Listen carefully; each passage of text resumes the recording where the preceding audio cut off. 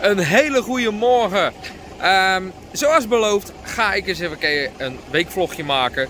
Althans, een weekvlogje. Ik ga nu naar Duitsland. Ik ga een vrachtje doen, een rondje door Duitsland uh, richting München. Um, het leek me leuk om even op beeld te zetten. Ik weet niet wanneer ik terug ben. Waarschijnlijk zou het woensdag of donderdag zijn. Um, dus het is niet echt een weekvlogje, maar goed, we gaan ons best doen. Uh, maar ik ben nog op de zaak. Het is rond 5 uur in de ochtend. Uh, we moeten even wat dingen opladen. We gaan we eerst naar Roermond. Gaan we wat spulletjes lossen en weer laden. Uh, dus ik ga eerst mijn vrachtwagen eventjes voor de lood zetten. Ga ik even alles laden. maar goed, dat zou ik je even laten zien.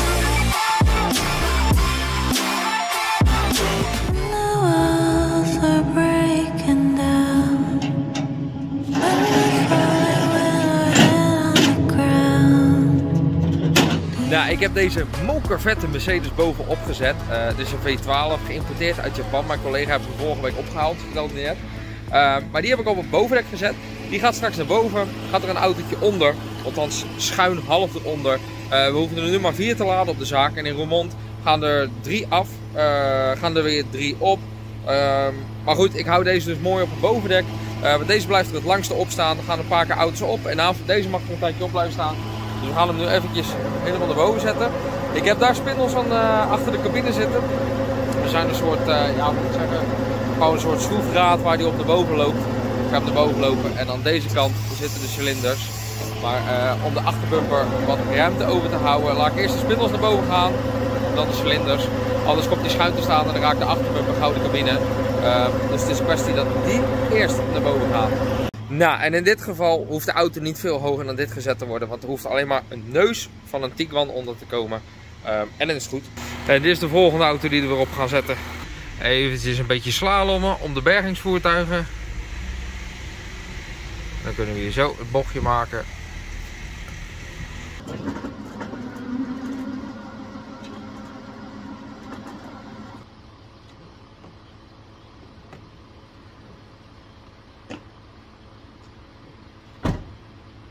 Nou, alles is heel mooi geladen. Uh, dus we gaan even alles dichtgooien uh, op de zaak. Even alle loodsdeuren dichtgooien.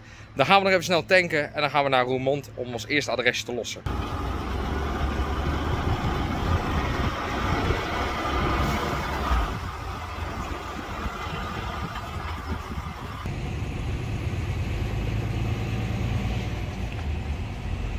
Nou, we zijn aangekomen bij Broekmans in de Roermond. Uh, we gaan dus drie autootjes lossen. Dus die camper gaat eraf.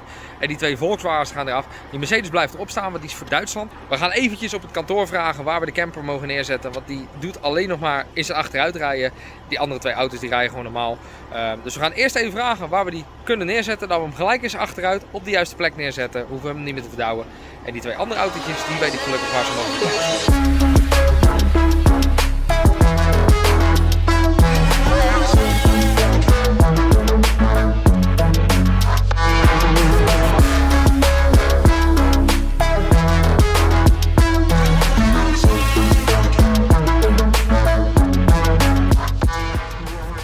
hebben alle sleutels die we moeten gaan laden. Dus alle auto's die we mee, mogen gaan nemen naar Duitsland.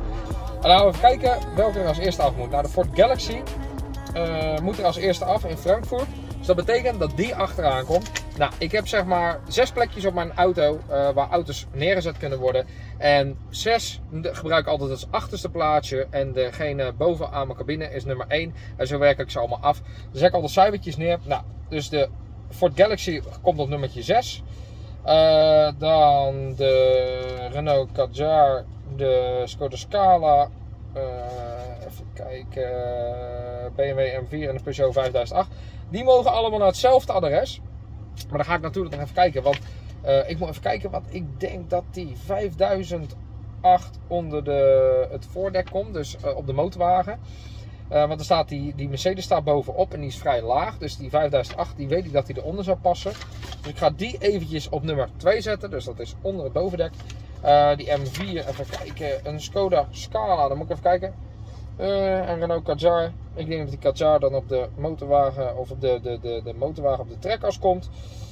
Een Skoda Scala voorop op de aanhanger. Uh, moet ik even een beetje precies kijken. Een Skoda Scala, dan moet ik even denken. Wat, hoe ziet het er alweer uit?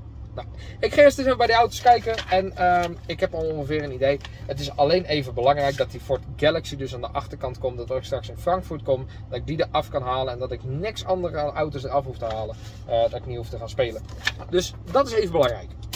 Nou, ik dacht eigenlijk eerst dat de Skoda Scala een grotere auto was, maar blijkt dus eigenlijk deze station te zijn. Uh, dus die ga ik mooi onder de motorwagen zetten, want die past er mooi onder. Heeft schade aan de voorkant en wat we altijd doen met auto's die we ophalen en doortransporteren is altijd even rondom goede foto's maken. Dus dat gaan we bij deze even doen. Nou, en er werd maar net al verteld dat de Kadjar die ik straks moet laden uh, niet meer gestart mag worden omdat er ooit verkeerde benzine is ingetankt. Uh, dus dat betekent dat we die moeten opleren. Maar die ga ik op mijn motorwagen leren. En als hier straks dus een auto op dat dek staat, kan ik niet meer makkelijk bij me leren. Dus het is nu het handigst om nu alvast de leer uit te lopen. En leggen we dan daar zo verder op neer. Kan de auto er overheen, hoef ik straks niet te kutten om die leer onder de auto door te trekken.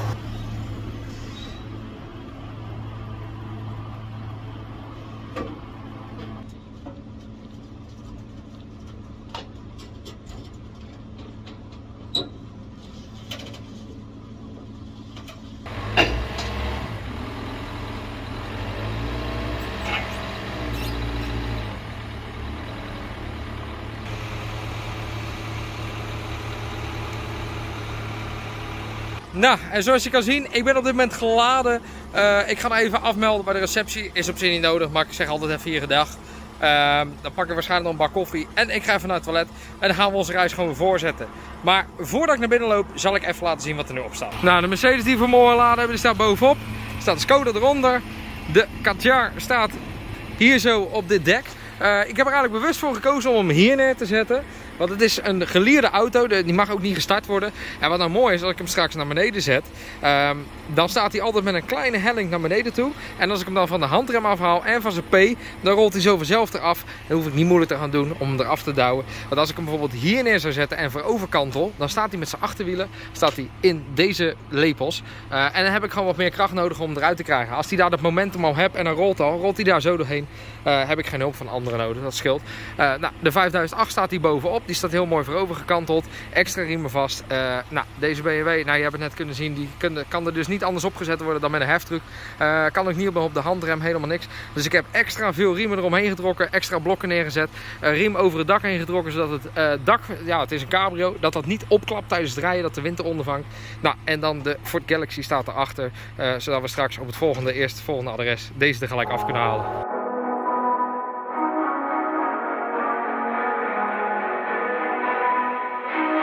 Nou goed, ik ben aangekomen in Frankfurt en zoals je kan zien, ik sta aan een doorgaande weg te lossen, want hierachter zit het bedrijfje. Dus ik ga even de auto eraf gooien, papieren in orde maken en uh, de auto weer van de weg afhalen, want het is hier... Nou jongens, het is een beetje anders gelopen dan verwacht. Uh, want ik sta voor de deur bij Peertech, uh, Peertech, hoe je het wil noemen, um, in waar, ik heb geen idee waar ik sta, jongens. Het is een hectische dag geweest. Um, ik ging natuurlijk lossen wat ik vertelde uh, op dat adres. Alleen op dat moment uh, heb ik dus een, een, defect gehad aan mijn auto. En is er bij mij een hydraulische slang kapot gegaan. Ik zou even uitleggen wat er precies was gebeurd. Er zitten hier twee leidingen aan, hydraulische leidingen. Um, je moet het zo zien op mijn auto zit een PTO. Die zorgt voor een, uh, er zit een soort oliepomp op waarmee al mijn bedieningen werken. Dus al die dekken die erop zitten, die worden bediend door een oliepomp, de oliedruk. Die pomp die zit daar. Daar zit een, uh, een tank waar de, de, de, de vloeistof eigenlijk in zit. En er zit daar de bediening in de kast.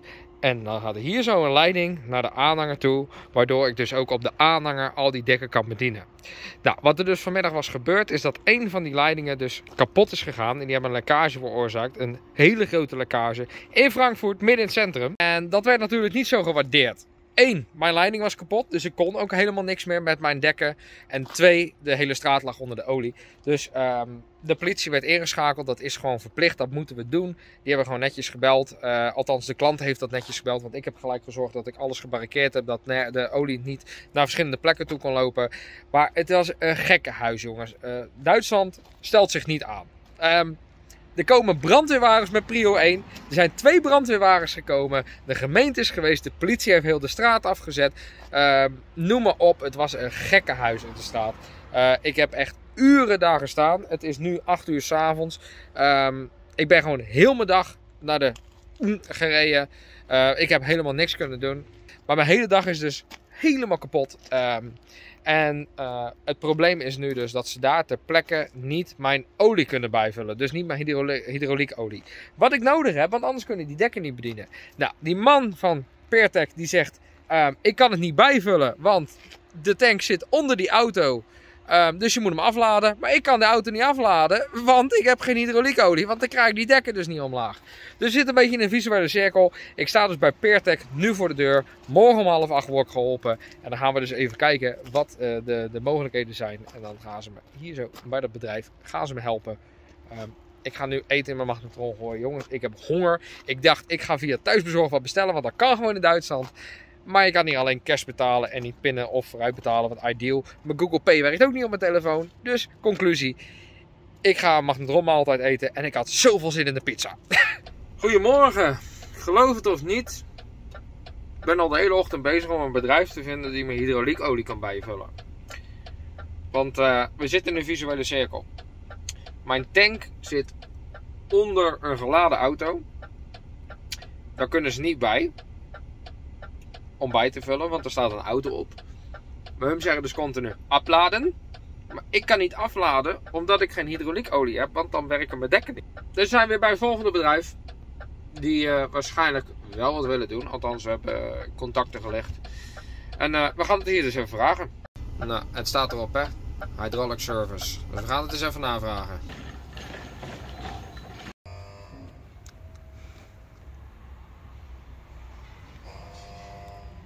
Nou, het is gerepareerd hoor. Die man heeft hem bijgevuld. We hebben net alles afgetest. Alles doet het weer. Um, Eén nadeel, ik moet die wel direct betalen. Dus dat gaat even van mijn eigen rekening af. Maar gelukkig ga ik dat van de zaak gewoon gelijk weer teruggestort. Um, dus dat betekent dat we nu eventjes gaan afrekenen. En dan kunnen we gaan lossen bij ons adres waar we eigenlijk gistermiddag al lang weg hadden moeten wezen. Maar jongens, hij doet het weer. Nou, ik heb het adres gevonden. Hierachter moeten we lossen. Maar omdat we auto's bij ons hebben die met de heftruck af moeten, gaan we, ga ik vier, hier vooruit in. Dan kan ik mijn aanhanger zo achteruit hier het straatje indraaien. Kunnen ze met de heftruck die auto eraf halen, want die BMW die gaat niet meer rollen. Dus we gaan even hier achteruit insturen.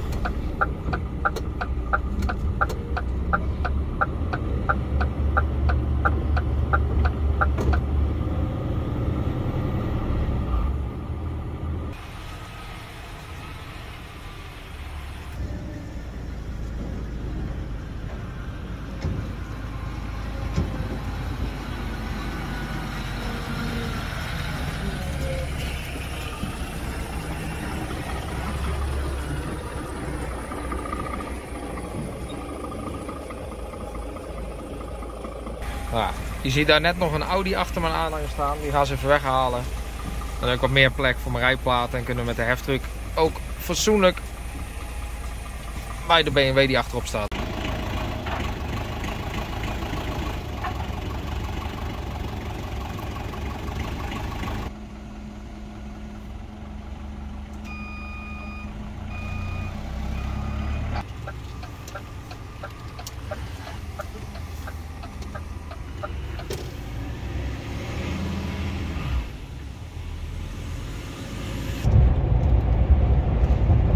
Nou, het is uh, half acht s'avonds. Ik ga nog even gauw de Mercedes hier zo lossen.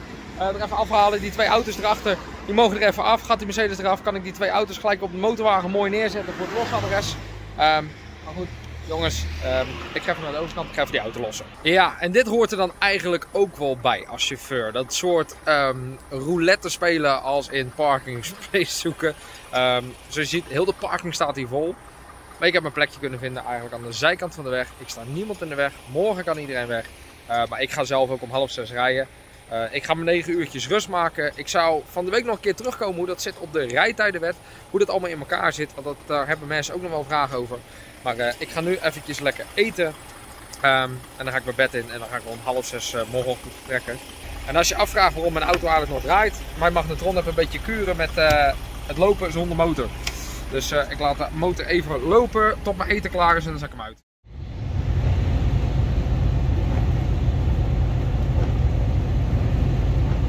Nou, Goedemorgen. Um, ik sta op dit moment op de Opel fabriek, althans een fabriek ergens in Duitsland van Opel, uh, om deze Quentland op te laden.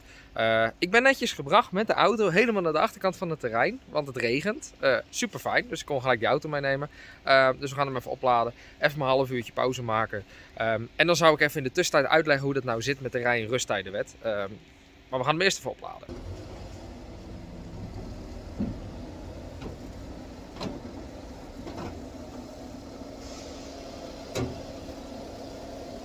Als je je afvraagt waarom het ineens uh, zo donker is, het is avond. Um, maar ik ga jou even uitleggen wat wij uh, nou bedoelen met die rijtijdenwet. Ik heb hier een kastje in zitten. Als het contact aanstaat, kan ik erbij. Als het contact uitstaat, kan ik er vaak ook gewoon bij. Um, maar ik ga eerst even uitleggen waarom we dit kastje hebben en waarvoor het dient.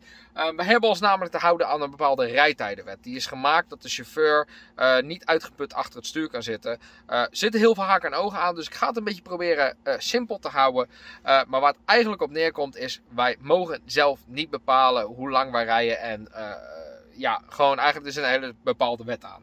Nou, dit is een bestuurderskaart. Als jij op een vrachtwagen rijdt en jij doet bedrijfsgoederen, of in ieder geval je, je rijdt voor een bedrijf of iets, heb je zo'n pas nodig. Nou, die pas die is persoonsgebonden. Dat betekent dus dat die echt alleen voor jou is. Die mag ook niet bij iemand anders in bezit zijn. Die moet je altijd bij je hebben. En die gaat in dit apparaatje. Nou, die pas die houdt bij wat je hebt gereden. En het apparaatje houdt bij, uh, of die schrijft dat eigenlijk op je pas. Nou, als we die pas erin doen, dan wat ik nu niet ga doen, want morgenochtend ga ik rijden. Maar normaal gesproken, als je dus ochtends gaat rijden of wanneer je het begint aan je rit, gaat die pas erin. Uh, doe je alles even invoeren en accepteren dus wanneer je begint wat je de, uh, s'nachts hebt gedaan. Dus stel dat jij uh, andere werkzaamheden hebt gedaan, moet je dat eigenlijk ook invoeren. Nou, de meeste gevallen heb je natuurlijk gewoon geslapen thuis of whatever. Voer je dat in, gaat die lopen. Op het moment dat wij gaan rijden, gaat dit kastje dus ook rijtijd tellen. Die tijd die wordt geteld op het moment dat de wielen draaien. Dus als wij stilstaan, telt hij niet. Nou, wij mogen een blok rijden van 4,5 uur. Dus dat betekent als we in één stuk door zouden rijden, is dat 4,5 uur. Dat mag dus wel met onderbreking in, maar na die 4,5 uur moeten wij drie kwartier pauze maken. Die pauze mogen wij opdelen in een kwartier en een half uur, maar niet in een andere volgorde. Nou, dan mogen we twee dagen in de week mogen wij uh, een totale rijtijd van 10 uur hebben. Dus dat zijn twee keer een blok van 4,5 uur en nog een beetje over, dus een uurtje extra. Um, en de rest van de week mogen wij gewoon de 9 uur rijtijd houden. Um, en dan is er nog eigenlijk iets. Um, uh, deze houdt dus eigenlijk de rijtijden bij, de snelheid, waar je bent geweest. Want je moet ook landcodes en alles invoeren. Ik ga het een beetje beknopt en simpel houden. Maar er bestaat ook nog zoiets als rusttijd. Dus op het moment dat je aan je dagelijkse tijden zit, dan ben je verplicht om te rusten. En die rusten tijd moet minimaal 9 uur zijn. Dus dat betekent dat je in die 9 uur niet bezig zijn, mag zijn met je werk. Dus dat betekent ook eigenlijk uh, het niet laden, lossen, al dat soort dingen. Um, ik weet dat veel chauffeurs het wel doen, maar het mag gewoon eigenlijk absoluut niet. Nou, op het moment dat ik dus nu ga laden, um, dan moet ik hem op andere werkzaamheden zetten. Dan mag ik hem officieel gezien niet op rustperiode zetten, want ik ben bezig met mijn werk. Als deze op rust staat, betekent het dat ik geen enkele werkzaamheden voor mijn baas mag uitvoeren. En dat betekent dus ook dat mijn baas, mijn werkgever, niks van mij mag vragen in die tijd. Um, tuurlijk, we doen het wel eens, weet je, ramen schoonmaken, even wat opruimen in je wagen, misschien je kastjes uitzoeken. Officieel valt dat nog steeds onder werktijd. Maar dat doet dit apparaatje allemaal tegen of eigenlijk opschrijven op die kaart.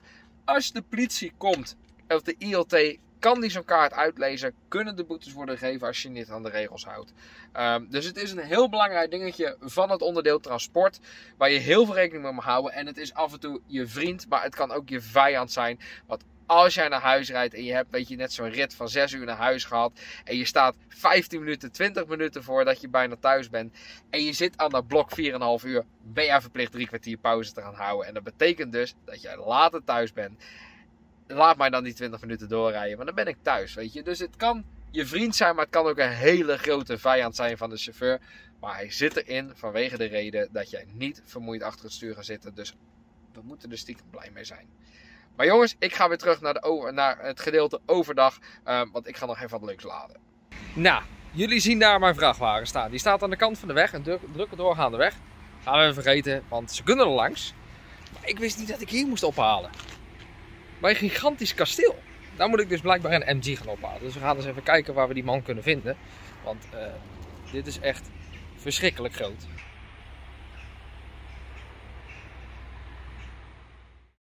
Goedemorgen. Ik zou nog eens uitleggen hoe dat zit met geschaard lossen. Uh, wat zoals je achter me kan zien. Ik kan nu deze auto die hier achterop staat lossen zonder de aanhanger af te koppelen of leeg te halen. Dit is trouwens dat MG'tje wat ik dus gisteren heb opgehaald. Uh, zal er zo over omheen lopen. Um, maar nu kan ik de kont laten zakken. De plaat hierboven kan helemaal uitschuiven. Kan de kont zakken.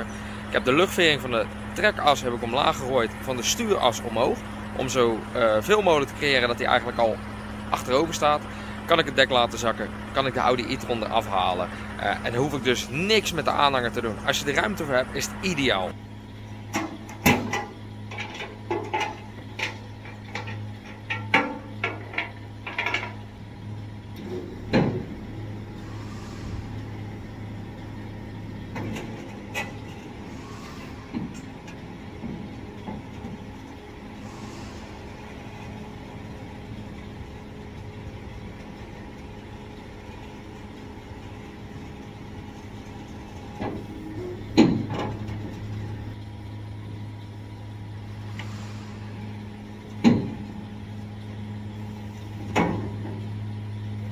Nou, en als je dan nu afvraagt waar ik nu ben, ik sta op, uh, op de terminal in Rotterdam, Matrans. Uh, ik ben hier de autootjes aan het lossen. Die Airways U5's die ik net heb opgehaald, die heb ik niet gefilmd. Um, maar dat zijn Chinese gemaakte auto's. Nou, hier zo zie je hem, staat een handje achterop. Ik heb er al eentje afgezet. Maar er is iets mis met die auto's. Ik zal het even laten zien. Dit is dus zo'n Airway U5. Dat is een auto die komt van de Chinese markt. Dus we kunnen ervan uitgaan dat de hele productielijn compleet Chinees is. Het is een hele bijzondere auto, want ik had er nog nooit van gehoord eerlijk gezegd. Maar, dan stappen we even in. Dan zien we dat hij aanblijft. Deze auto is niet uit te schakelen van binnenuit. Je moet letterlijk de sleutel wegnemen van de auto. Zoveel meter hier vandaan staan, anders gaat die auto niet uit. Althans, dat is me verteld. Dat is dus verschrikkelijk, want hier op de terminal blijven de sleutels hier in dit vakje liggen. Uh, dus dat betekent dat deze auto niet uit te zetten valt. Dus ik ga dat straks even met die jongens bespreken. Maar waar ik dus ook nog achter kwam, is dit scherm wat erin zit, kan niet meer meekomen met de standaards van nu. Als ik namelijk het hier het volumeknopje aanraak, ik weet niet of de zender ingeschakeld staat. Gaan we eens even kijken. Uh, als ik daar aan draai, en ik laat mijn handen los, dan gaat hij gewoon door. En hetzelfde als dat ik hem terug doe. Wat is dit? Vertraging op de knoppen. Dat zit trouwens overal in. Alles wat ik doe in het scherm hier zo. Um, kijk, ik zet, zet dit, dit is gewoon niet relevant. Als ik dit doe. Je ziet gewoon dat het gewoon traag is. Nou, we zijn op dit moment dus gelost zoals je kan zien. Um, dus dat betekent dat ik dit hesje uit kan doen. Het terrein kan verlaten. Um, en dan kunnen we de terugweg in gaan zetten naar huis toe, naar Goes. Uh, moet nog één autootje Goes lossen. En die Mazda 3 die daar bovenop staat, die we op hebben gehaald, die mag ik morgen meenemen uh, op mijn binnenlandritje.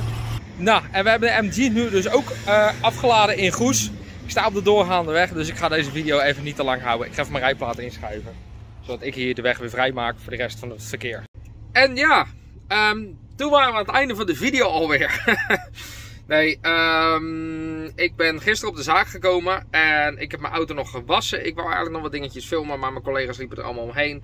Uh, ik werd gebeld. Um, het was best druk op de zaak. Um, dus ik heb eigenlijk daar geen afsluiting mee gedaan. Dus ik doe het even op deze manier. Um, maar goed, ik hoop dat jullie dit althans een leuke video vonden. Het is een beetje rommelig in elkaar gezet. Um, voor mij doen dan, want normaal doe, doe, ik daar wat meer werk in steken. En heb ik andere cameraapparatuur, neem drones mee, uh, gimbals, camera's, noem maar op. En nu heb ik weer zo'n videootje met alleen de telefoon gemaakt. Dus ik hoop dat jullie het wel super tof vonden. Um, ik wil proberen nog zo'n videootje te maken, want volgende week ga ik naar Frankrijk. Dus waarschijnlijk als deze dan online staat, ben ik in Frankrijk. Um, dan ga ik kijken of ik die video ook kan maken. Um, want daar zijn we ook wat leuke dingetjes om te filmen. En als jullie zeggen van, hey, ik vond het hartstikke leuk om dit te zien. Uh, dit moet je vaker doen. Laat het dan natuurlijk even weten in de reacties. En uh, vergeet natuurlijk ook even niet dat duimpje omhoog te klikken. En als je nieuw bent op mijn kanaal, even te abonneren. Um, want dan ga ik proberen om dit soort video's vaker te maken. En ik maak natuurlijk ook hele andere video's. Want jullie zijn misschien hier gekomen vanwege TikTok. Uh, maar neem even een kijkje op mijn kanaal. Ik heb heel veel verschillende video's gemaakt. Ook over auto gerelateerd. Urbexen, verlaten gebouwen, alles soort dingen. Ehm, dus check die video's ook even. Uh, maar dan zou ik zeggen, tot de volgende keer, jongens.